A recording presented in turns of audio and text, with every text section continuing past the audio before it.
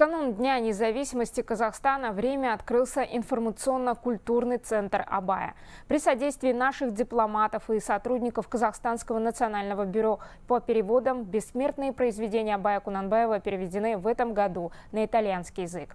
К 175-летию великого казахского писателя и просветителя в посольстве Казахстана в Италии презентован первый сборник его поэм и слов назиданий. Работа центра началась с выставки произведения Абая и изданий о нем, предоставленных фондом Национальной академической библиотеки нашей страны.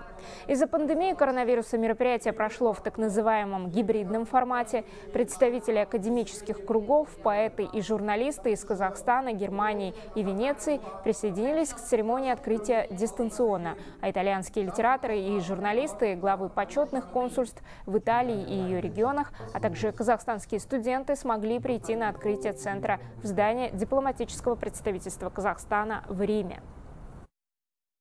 Открытие центра Абая, а также э, появление его книги с, со всеми его произведениями на итальянском языке, это отлично повлияет на э, взаимоотношения между Казахстаном и Италией, поскольку отныне итальянцы, я как студент могу заверить то, что я буду делиться этой книгой со всеми своими одногруппниками, со всеми своими друзьями. Я надеюсь, то, что итальянцы будут читать нашего великого поэта, отца нашей литературы, нашего величайшего философа. Really, I think that it was a great uh, есть что-то общее между итальянской литературой и универсальными произведениями Абая. Когда я была в Казахстане, я читала его на английском, но теперь могу и на моем родном языке. Это большое достижение, так же, как и открытие центра Абая в Риме. Это будет местом для сближения наших культур, потому что литература и чувства универсальны. Неважно, казах вы или итальянец, есть вещи, которые откликаются прямо в сердце, в чувствах и человеческой сущности.